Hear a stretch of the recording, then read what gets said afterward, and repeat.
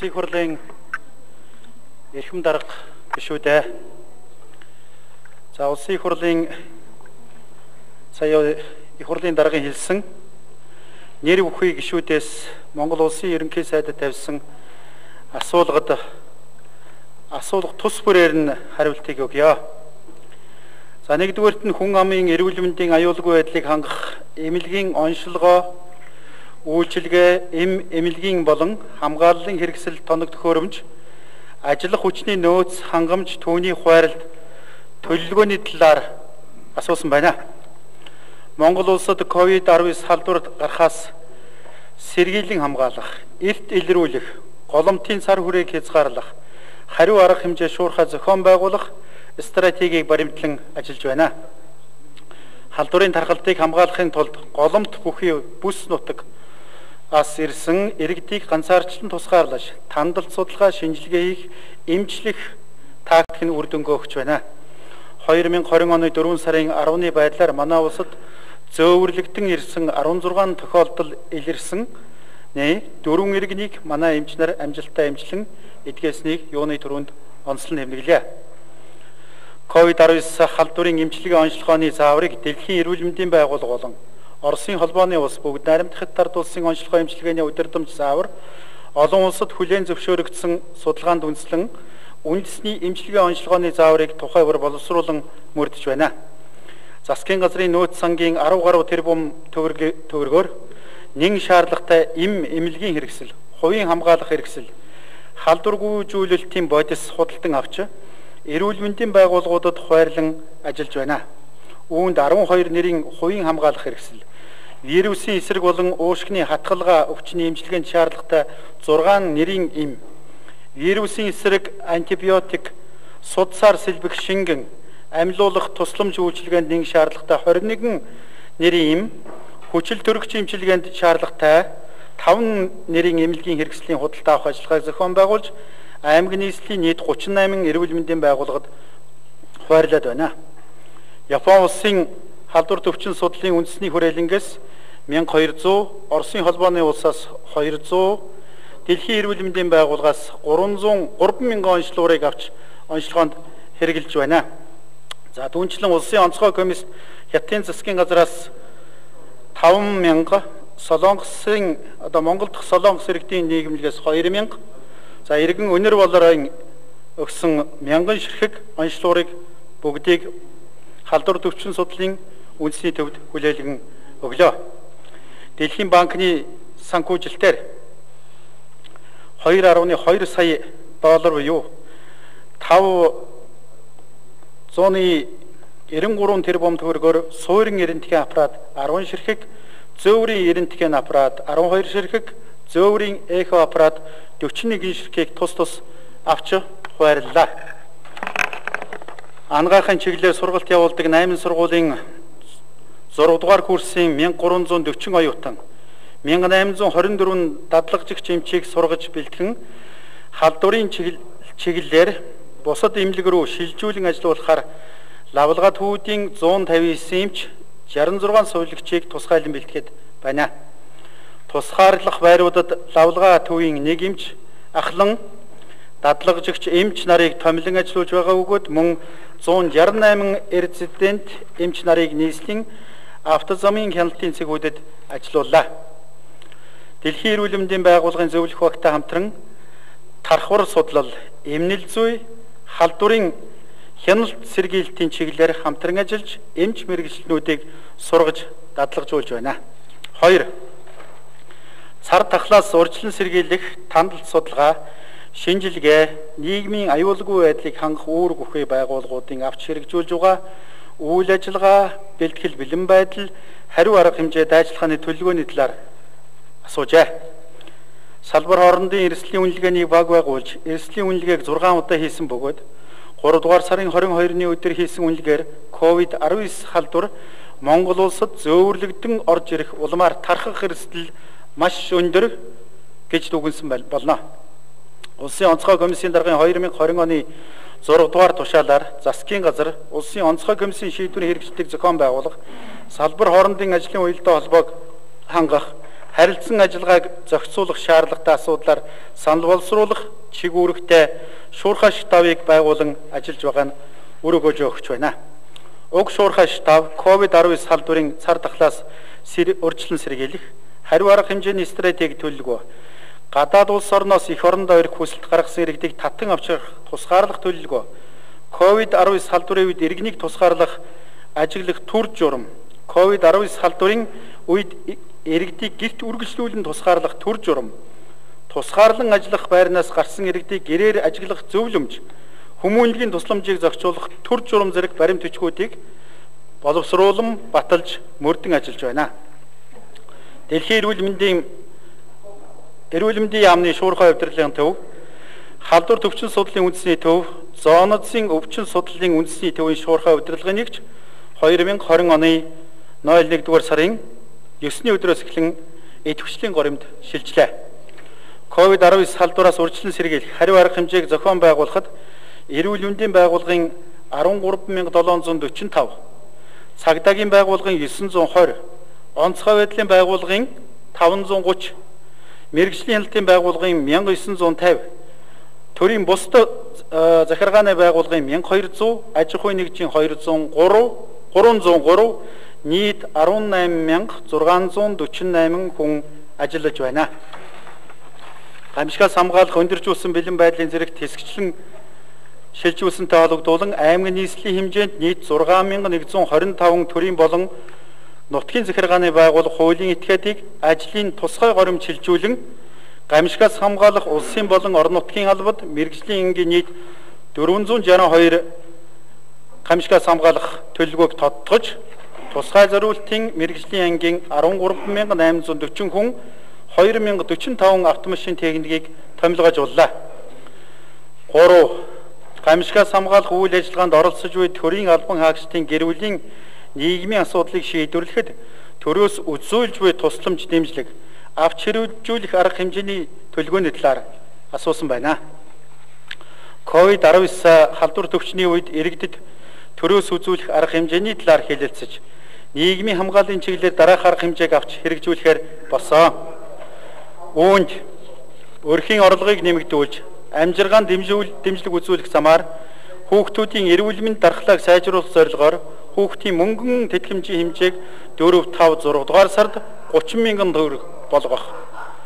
2020 оны 4 дугаар сарын 1-ний өдрөөс 10 дугаар сарын 1-ний өдрийг хүртэл 6 сарын хугацаанд иргэдийг нэмийн даатгалын шимтгэлээс бүрэн чөлөөлөх төрийн байгууллагын шийдвэрээр үйл ажиллагааг нь зогсоосон ч ажлын байраа хадгалж байгаа байгууллагын ажиллагчдад ажилгүйдлийн даатгалын сангаас 3 сарын турш сар бүр 200 мянган төгрөг олох арга хэмжээг тус тус авч хэрэгжүүлсэн хэрэгжүүлж эхэлж байна.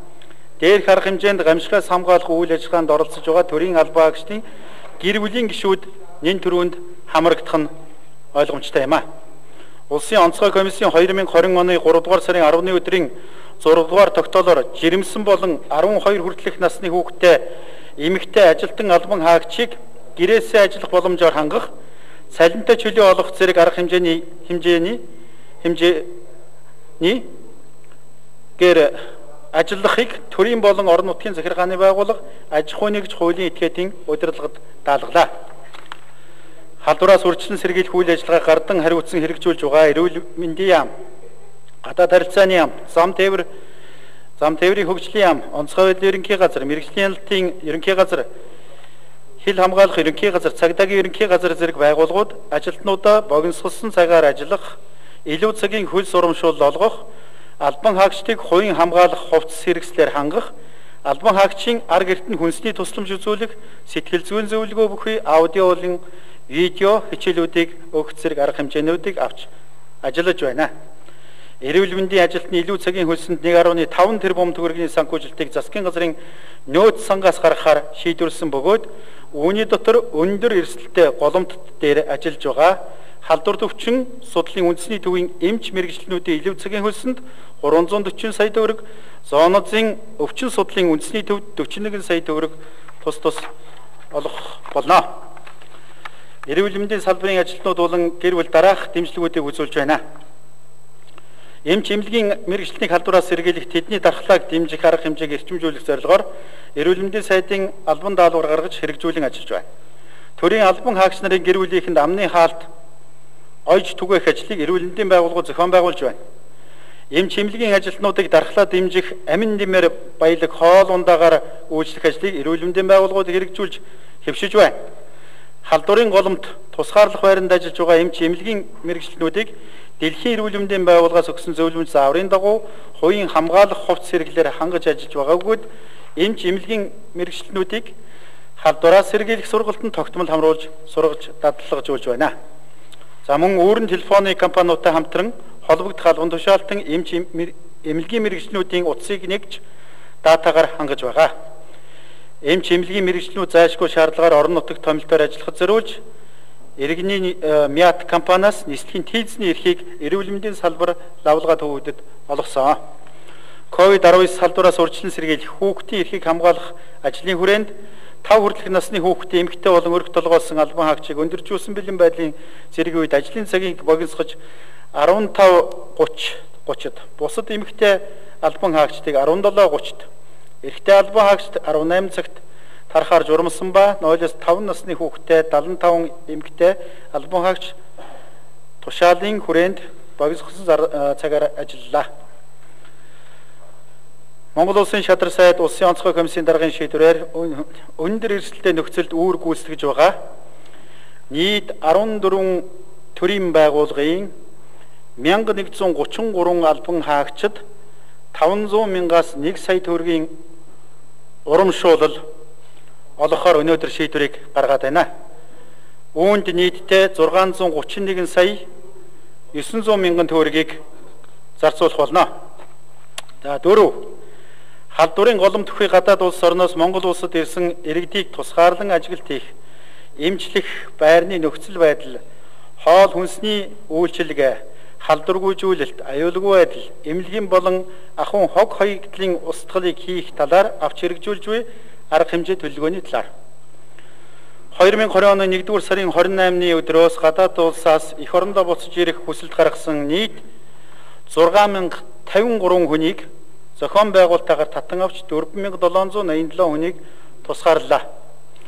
Улсын онцгой комиссийн даргын 2020 оны 3 дугаар сарын 14-ний өдөр баталсан COVID-19 салдварын үед иргэнийг тусгаарлах ажиллах төр журмаар тусгаарлах байранд тавигдах шаардлага, мөрд хим хэмжээ, тусгаарлан ажиглалтанд байгаа иргэний үүрэг зэрэг харилцааг зохицуулж байна. 2020 оны 4 дугаар сарын 10-ны өдрийн байдлаар Улаанбаатар хотоо 6 аймгийн 52 байршилд за энд одоо эмнэлэг, соёлол, амралт зочд буудлын газрууд нийтдээ 6601 иргэн тусгаарлагдж байна. Тусгаарлагдсан иргэдэд хоол хүнсээр өдөрт 3 удаа үйлчилж байгаад бөгөөд хоол, үйлдвэрлэлийн эрүүл ахуйн нөхцөл шаардлага, хүнсний аюулгүй байдал, мэрэгжлийн хяналтын байгууллага хяналт тавьж ажиллаж байна тусгаарлах байрны өдөр тутмын цэвэрлэгээ халдваргүй итгэлийг тухайн байгууллага эцсийн халдваргүй итгэлийг зоонуудын өвчин судлалын үндэсний төв гүйцэтгэж байна. Тусгаарлах байранд ажиллаж буй эмнэлгийн мэрэгжилтэн үйлчилгээний ажилтны хэрэгэлсэн амны хаалт, халаад, малгай зэрэг хог хаягдлыг эмнэлгийн хог хаягдл устгалын төвлөрсөн байгууламж болох элемент ХХК-д устгаж байгаа болно. Асуулга 5. Халдварын голом төхөө гадаад улс орноос Монгол иргэдийг эх орондоо татран авчрах судалгаа тооцоо төлөвлөгөөний талаар 2020 оны 1-р сарын 28-ны өдрөөс 4-р сарын 9-ний байдлаар Монгол улсын нийт 19 боомтоор 77974 Монгол улсын иргэн орж ирснээс халдварын голом түвхий улс орондоо орноос иргэдээ зохион байгуулалтаагаар татан авчрах улсын онцгой комиссийн шийдвэрийг хэрэгжүүлэх хүрээнд нийтдээ 6079 иргэнийг авчирсан байгаа. Зорчигч тээврийн хөдөлгөөнийг 2020 оны 4-р сарын 30-ны өдөр хүртэлх хугацаанд төр зогсоосонтой холбогдуулан гадаад харилцааны яам, зам тээврийн хөгжлийн яам, хил хамгаалах ерөнхий газар хамтран 1-р сард 3036 2 дугаар сард 934, 3 дугаар сард 1321, 4 дугаар сард 788, нийт 6079 монгол иргэн нэг татан авсан. Тусгай үүргийн 9 онгоцоор бүгд найрамдах хятад улсын Ухаан хотоос 31, бүгд найрамдах Солонгос улсаас 766, а холбооны бүгд найрамдах Герман улс Оросын холбооны улсаас 231, Япон улсаас 519, Турк улсаас 252, Катар улсаас 43, татан авчирсан нийт 1842 иргэнийг буян тухай бомбтор улсын хилээр шалган нэвтрүүлсэн. Хэлийн буян тухай, гашуун сухайд бичиг тавирга булган алтан булаг ханх боршоо Ирэн цав цагаануур Сүхбаатар бомтор өндөр халуурсан голомт бүхий бүх нотгаас ирсэн иргэд болон тэдгээлт ойр хавьтал бүхий нийт 4367 иргэнийг хэлийн мэрэгжлийн хяналтын байгууллага орон нутгийн эрүүл мэндийн байгууллага шилжүүлж тусгаарлаа. 2020 оны 4-р сарын 9-ний өдрийн байдлаар дэлхийн 34 улсаас 7624 иргэн нутаг буцах хүсэлтэд гаргаад байгаа бөгөөд тэдгээрээс дийлэнх нь бүгд найрамдах Солонгос. За энд бол 2000 гаруй байна. Америкийн нэгдсэн улс 1270 байна. Австрали 906 байна. Бүгд найрамдах Казахстан улс 560, бүгд найрамдах Энэтхэг улс 549, бүгд найрамдах Турк улс 437, Англиас 365, Японоос 300 гэсэн ийм одоо захиалгыг өгöd байна. Эдгээр иргэдээс бага насны хүүхэдтэй 830, эрүүл мэндийн шалтгаантай 86, өндөр настай 278, жирэмсэн 32, хүүхэдтэй 307, оюутан 973, богино хугацааны визтэй 215, байрлах газаргүй болсон 409, санхүүгийн боломжгүй 89 За бусад шалтгаантай 4413 иргэн байна. Гадаад харилцааны яам Мя тулан арилжааны нислэг үйлдэх компаниудтай хамтран Монгол иргэдийг цаашид хэрхэн татан авах талаар судалгааг хийж байна. Түүнчлэн гадаад байгаа иргэдэд хэрхэн дэмжиж туслах талаар олон улсын шилжилт хөдөлгөөний байгууллагатай хамтран судалгаа хийж хариу арга хэмжээг авахар төлөвлөж байна. Үүнд халдварын тархалтын талаар мэдээлэл сурчлагаа хийх, амны хаалт ариутгалын бодисоор хангах, ажил орлогогүй болсон иргэдэд мөнгөнд тусламж өгөх, тусгаарлах байрны зардал дэмжлэг үзүүлэх зэрэг ажлуудыг хийхээр судалж байна. Асуулга 6. COVID-19 халдварын тархалтын үед засгийн газраас авч хэрэгжүүлж буй эдийн засгийн бодлогын арга хэмжээг хэрэгжүүлэхэд шаардлагадах санхүүжилтийн их усүрийг хэрхэн бүрдүүлж зарцуулж байгаа талаар асуусан байна. COVID-19 салдварын тархалтын үед засгийн газараас авч хэрэгжүүлж буй эдийн засгийн бодлогын 7 арга хэмжээг авч хэрэгжүүлэхээр төлөвлөсөн. Эдгээр багц арга хэмжээ дотоодын нийт бүтээгдэхүүний 14% буюу 5.1 их 80 төгрөг болсон. Үүнд 1-р 4-р сарын 1-ээс 10-р сарын 1 хүртэл 6 сарын хугацаанд нийгмийн даатгалын шимтгэлээс аж ахуй нэгж байгууллагуудыг бүрэн тэглэлээ. 26% татвар тэглэгдэж байна. 2 дугаар 4 дугаар сарын 1-ээс 10 дугаар сарын 1 хүртэл 6 сарын хугацаанд иргэдийн цалин хөлснөөс орлогын албан татвар авахгүй болсон. Энийг бүрэн чөлөөллөө. 3 дугаар 4 дугаар сарын 1-ээс 10 дугаар сарын 1 хүртэл 6 сарын хугацаанд 1.5 тэрбум төгрөгнөөс доош орлоготой аж ахуй нэгж байгууллагуудын үйл ажиллагаанаас орлогын албан татвар авахгүй болж байна. 4 дугаар 4 сарын 1-ээс 10 дугаар сарын 1 хүртэл 6 сарын хугацаанд үйл ажиллагаанд тоглож орлого нь буурч байгаа хувийн хвшлийн аж ахуй нэгж байгууллагын ажил ажилчдад сар бүр 200 мянган төгрөгийн тэтгэмж олгоно. Нийгмийн даатгалын шимтгэлээс төлж байгаа ажилчдынхаа орон тоог цомгтгоогүй аж ахуй нэгж байгууллага үүнд хамаарагдана. 5 дугаарт малчтаас ноолоор худалдаа авах зориулан 3%-тэй 300 тэрбум төгрөгийн хөнгөлтэй зээлийг зээлийг үйлдвэрлэгч олгоно. Хүүгийн зөрөөг засгийн газар хариуцна. 6 дугаарт 18 хүртэлх насны хүүхдэд сар бүр олгодог 20 мянган төгрөгөөр нэмж 10 мянган төгрөг 3 сарын турш олгоно. 7 дугаар 4 сарын 15-наас эхлэн шатхууны шатхууны литр тутамд 300-аас 400 төгрөгийн хямдрал үзүүлж буулгах ажлыг хэрэгжүүлнэ. Үүний зэрэгцээ төсвийн хөрөнгө оруулалтын ажлыг эрчимжүүлэхээр тооцвол нийт 8.2 их 80 төгрөгийн үр дүнтэй багц арга хэмжээг авч хэрэгжүүлэхээр төлөвлөд байна. Уг хөрөнгө оруулалтын батлагдсан санхүүжилтээс бусад шаардлагатай 5.1 их 80 төгрөгийн их усүрийг гадаадын зээл тусламж, төсвийн хөрөнгө, боломж тэмнэлтээс санхүүжилтийн шийдвэрлэхээр төлөвлөж байгаа. За нийт 179.7 тэрбум төгрөгийн гадаадын хөнгөлөлтөө зээл тусламжийн их усүр дээр сургууль цэцэрлэг зэрэг байгууллагын үйл ажиллагааг э, тэнхимд зогсоосонтой холбоотойгоор хэмнэгдсэн зардлыг бас энэ дээр нэмж тооцно. Эдийн засгийн эргэлтийг сэргийх ажлын хүрээнд нүүрсний экспортыг сэргээж замын үед гашуун сухайд шивээ хөрөн ханги бомбтуудаар нүүрс тээвэрлэлт эхлээд байна. Түүнчлэн 2020 оны улсын төсөв батлагдсан улсын төсвийн хөрөнгө оруулалт болон бусад их усүрийн нийт 3.1 их 80 төгрөгийн хөрөнгө оруулалтын ажлуудын санхүүжилтийг хийснээр нь нийт туслан гүйцэтгэгч гэрээт зэрэг 15 мянга гаруй аж ахуй нэгж бүтээн байгуулалтын ажилд оролцож тэдгээрийн 150 мянга гаруй ажилчид цалинтай орлоготой байх юм а.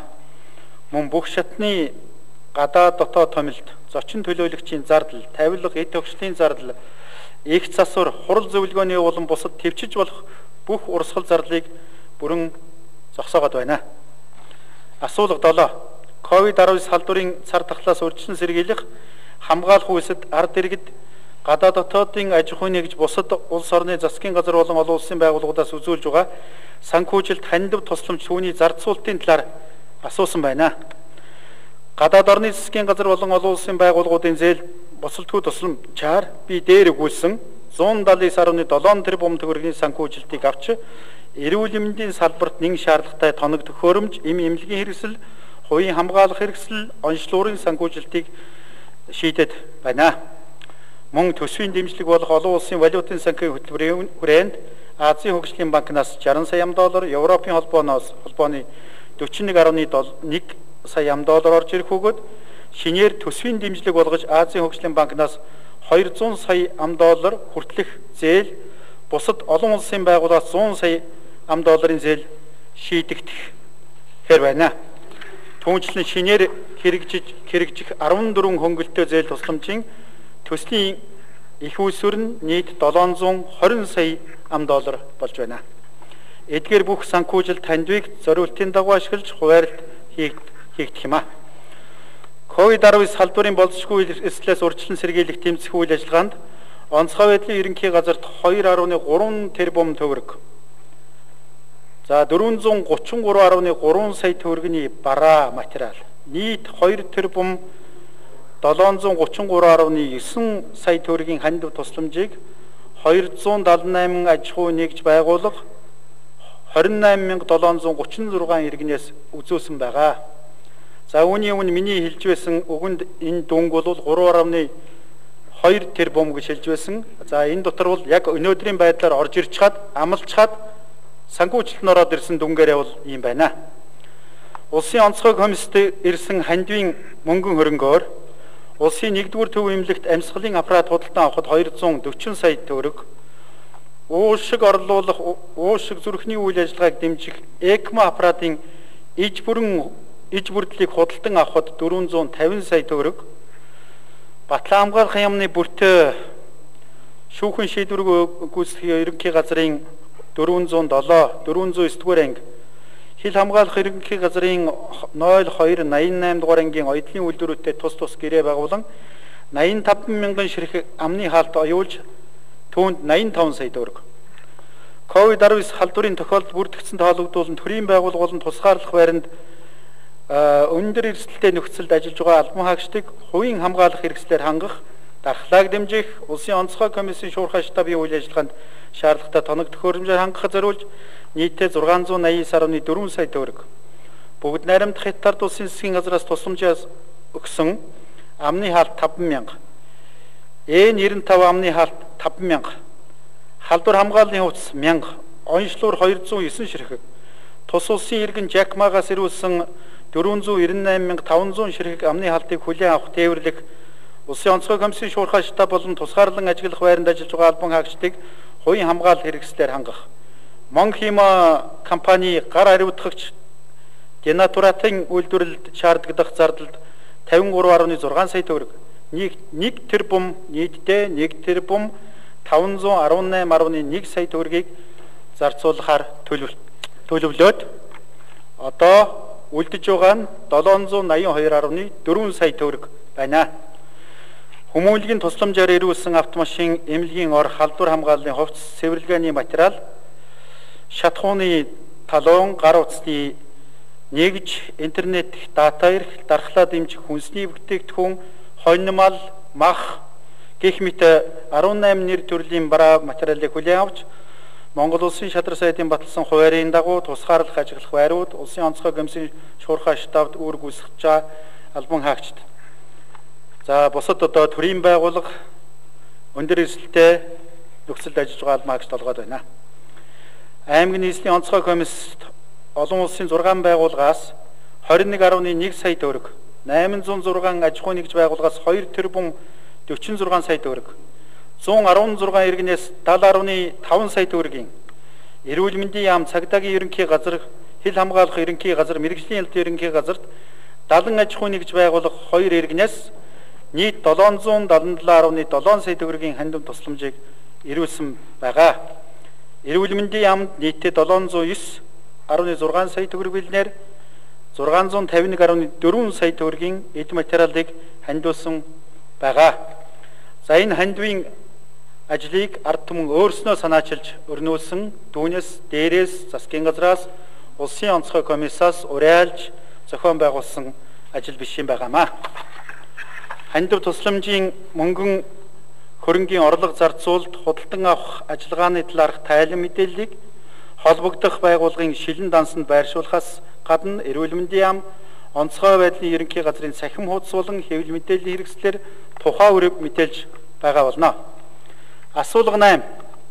Гамшигаас хамгаалах өндөржүүлсэн бэлэн байдлын зэрэг шилжсэн тоологдвол нийгмийн эдийн засгийн сөрөг үр дагавар гарч байгааг тооцоолж эдийн засгийн эргэлтийг сэргээх аж ахуйн хуваарай хөдөлмөр эрхлэгчдийг дэмжих зорилго өгөх хямралын эсрэг тусгай сан бүрдүүлэх тухай Монгол улсын ерөнхийлөгчийн санаачлагыг хэрэгжүүлэх талаар сонирхсан байна. Улсын их хурлын 2020 оны 4-р сарын 9-ний өдрийн чуулганы нэгдсэн хуралдаанаар засгийн газраас өргөн мэдүүлсэн COVID-19 халдварын үед иргэдийн эрүүл мэнд орлогыг хамгаалах, ажлын байрыг хадгалах, эдийн засгийг идэвхжүүлэх багц зарах хэмжээний тухай улсын их хурлын тогтоолыг баталсан. За энд одоо их олон хуулиудыг хэлэлцэж баталсан.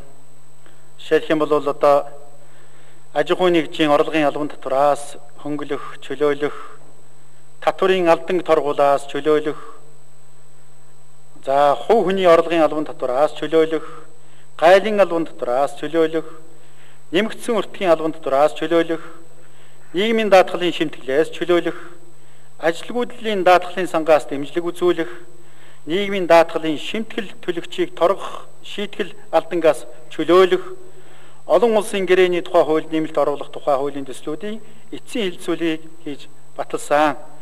За энэ асуудлыг улсын их хурлын гишүүд та бүхэн мэдээл бүрэн мэдээлэлтэй байгаа учраас би тус бүрдэн задлж ярихыг энэ удаад цаг хэмнэх үднээс болио. За дотоодын зах зээлд махны хангамжийн тогтвортой байдлыг хангах нийлдүүл нийлүүлэлтийн хомсдол үнийн хөөрөгдөл бий болохоос урьдчилан сэргийлэх зорилгоор мах махан бүтээгдэхүүний экспортыг төдөлзүүлэх хугацааг 2020 оны 4-р сарын 30-ны өдрийг хүртэл сунгах шийдвэрийг гаргасан Улаанбаатар хотын хүн амын хаврын улирлын хэрэгцээнд бэлтгэсэн нөөцийн махны хэмжээг цаашид нэмэгдүүлэх зорилтоор ажиллаж байна. Гамшигын нөхцөлд хүнсний аюулгүй байдал алдагдах үеийн бэлэн байдал хариу арга хэмжээний дэд төлөвөө боловсруулан ажлын хэсэг байгуулагдаж төлөвлөгөөгөө хүнсний аюулгүй байдлын зөвлөлд хилцүүлэхээр хүргүүлээд байна. За улсын хэмжээнд олон арх экспертийн үйлдвэрүүд ажилладаг. Улсын онцгой комиссийн хурлаас энэ одоо арх үйлдвэрлэхэд зориулж байгаа экспертийг ариутгал халдваргүйтгэлийн одоо бодисны үйлдвэрлэлд шилжүүлээч гэдэг ийм одоо чиглэлийг хувийн хвшлийн байгууллагуудад хүргүүлсэн байгаа. За одоогоор яг энэ уриалгыг хамгийн түрүүнд хүлээж авч сан байгууллага бол Jim International гэдэг компани байна. Тэднийхээс ирүүлсэн спиртик, цэвэр спиртик бүгдийг ариутгал халдваргүйтгэлийн бодис болгож болохоор холбогдох компанид нь шилжүүлсэн байгаа. бэлэн байдлын зэрэг чилжүүлсэнтэй холбогдуулан санхүү төсвийн чиглэлээр авах арга хэмжээний тухай засгийн газрын 2020 оны 2 дугаар сарын 19-ны өдрийн 68 дугаар тогтоолд өөрчлөлт оруулах тухай саналыг бэлтгэн засгийн газрын 2020 оны 3 дугаар сарын 25-ны өдрийн хуралдаанд хэлэлцүүлж дэмжиглээ. Тогтоолын өөрчлөлтөөр Монгол улсад импортлж байгаа хүнсний улаан будаа, үрийн улаан будаа, бүх төрлийн будаа, элсэн чихэр, ургамлын тосны импортын гайлын болон нэмэгдсэн өртгийн албан татвар төлөх хугацааг хойшлуулах 2020 оны 3 дугаар сарын 1-ээс 6 дугаар сарын 30-ны өдрийг хүртэлх хугацаанд холбогдох татвараас чөлөөлөх хуулийг Улсын их хурлын чуулганы 2020 оны 4 сарын 9-ний өдрийн хуралдаанаар баталсан байна. Бага. Тийм учраас энэ талаар бас дэлгэнгүй ярихыг яриха болё. Асуулга 9. Үүссэн нөхцөл байдалтай холбогдуулан шаардлагатай хууль тогтоомжийг боловсронгуйлах талаар талаар ямар бодолтой байна вэ гэсэн ийм асуулга байна. Үүссэн нөхцөл байдалтай холбогдуулан дараах хууль тогтоомжийн төслийн үзэл баримтлалыг баталж хууль тогтоомжийн төслийг засгийн газрын хуралдаанаар хэлэлцүүлж улсын хурлд өргөн мэдүүлэхээр ажиллаж байна.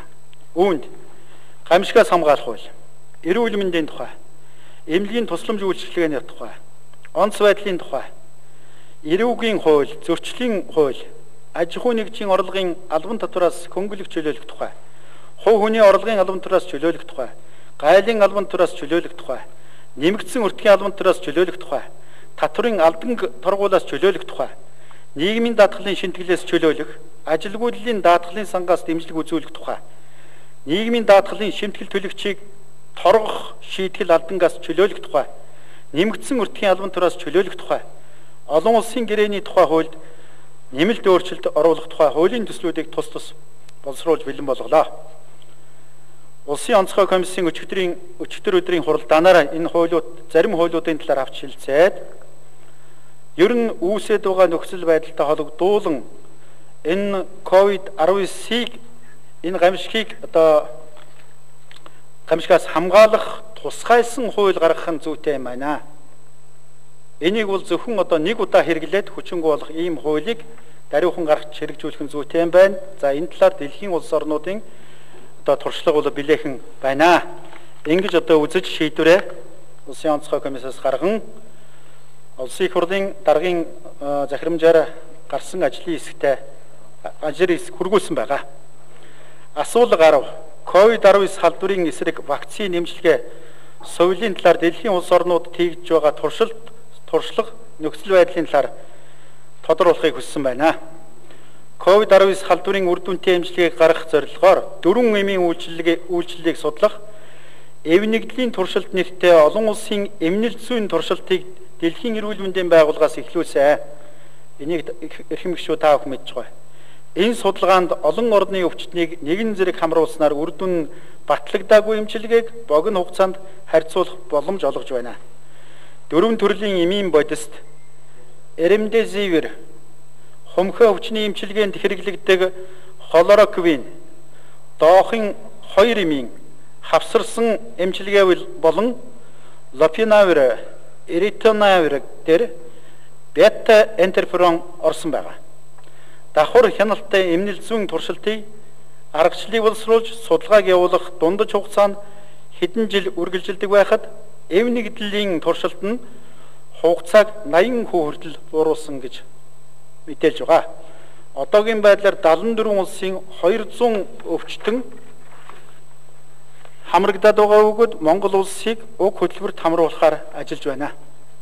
Бүгд найрамдах хятад улс вирусын генийн дарааллыг тогтоосноос хойш 60 хоногийн дараа вакцины анхны туршилтыг эхлүүлсэн. Одоогоор 20 гаруй байгууллага компани вакцины гаргахаар ажиллаж байна. Вакцины гаргаж авахд 12-оос 18 сар шаардлагатай юм гэж үзэж байна. SARS, MERS-ийн вакцины генийн дараалал харилцан хамгаалах магадлал багатай багтай байна. Хам уруулын лабораторийн шинжилгээний хариу хэдэн 7 хоногийн дараа гардаг. Бас ийм мэдээлэл байна. Дэлхийн эрүүл мэндийн байгууллагын болон бүгд найрамдах хятад улсын эмчилгээний зааварт хөнгөн өвчтнийг 14 хоног, хүн дэвтэр болон хүн өвчтнийг 3-аас 6-7 хоног эмчилнэ гэсэн. Манайд манай улсад эмчлэгдэж буй анхны тохиолдол өнөөдрийн байдлаар за үндсэндээ сар эмчлэгдэж байна. 3 дугаар сарын 9-өөс эхэлсэн өнөөдөр 4 дугаар сарын 10 байгаа. Үнэхээр одоо сар илүү болчихж байна. Цаашид бас 2-7 хоног имжлэх шаардлагатай гэж үзэж байна. Тэгэхээр ийм л одоо урт удаан хугацааг хамарч байна. Эмнэл зүүн зөвлөх хэмч нарын зөвлөгөөний дагуу вирусын эсрэг ремдезивер, холорафин, фосфат, флорофин фосфат, лопинавир, эритинавир, авиган, эребавирийн зэрэг эмүүдийн захиалгыг хийсэн байгаа. Бүгд наримдах хятад улсад альфа интерфероныг утлагаар мөн идэгсэн хүний цусны ээлжсийг ялган авч эмчилгээнд туршиж байна. Мөн уламжилт эм танг халдварын хөнгөн үед дархлаа дэмжих зорилгоор хэрэгжилж байна. Зүүн эмчилгээг зүүн эмчилгээг өвчлөөд идэгсэн хүнд сэргэн засах эмчилгээний зорилгоор хэрэгжилж байна. Бүгд найрамдах Хятад улс, Япон, бүгд найрамдах Солонгос улс, Австрали болон Америкийн нэгдсэн улс Израиль улсын эрдэмтэд COVID-19 халдварын эсрэг вакциныг турших ажлыг хийж байгаа юм байна. COVID-19 халдварын эмчилгээ онцлогооны зааврыг Дэлхийн эрүүл мэндийн байгууллага болон Оросын холбооны улс бүгд найрамдах Хятад улсын онцлогоо эмчилгээний удирдам заавар олон улсын хүлээн зөвшөөрөгдсөн судалгаа нотлогоонд үндэслэн өөрийн улсын эмчилгээ онцлогооны зааврыг тухай үр шинжилэн боловсруулахын зэрэгцээ уламжилт ангаах ухааны аргаар эмчилгээний эмчилгээ онцлогооны заавар гаргасан байгаа. За ингээд төгсгөлд нь би бас ард иргэдэд хандаж бас хэлэх хэдэн зүйл байна. За өнөөдрийн байдлаар дэлхийд сая 603,719 хүн энэ өвчнөөр халдварлаж 95722 хүн нас барсан байна. Одоо би энийг сарын өмнөхтэй харьцуулж харахад бол нэг сарын дотор маш огцом өссөн статистик гаргаж байна. Жишээлх юм бол Америкийн нэгдсэн улсад яг нэг сарын өмнө 985 тохиолдол байсан байна. Өнөөдөр 468566 болчихж байна. Өдөрт 37566 орчмоор одоо нэмэгдэж байна. Бас мөн сарын өмнө Оросын холбооны улсад 20 тохиолдол байсан. Өнөөдөр 10131 болсон байна. За энэ тэгэхэд 61 байсан. Өнөөдөр 6725 болсон байна.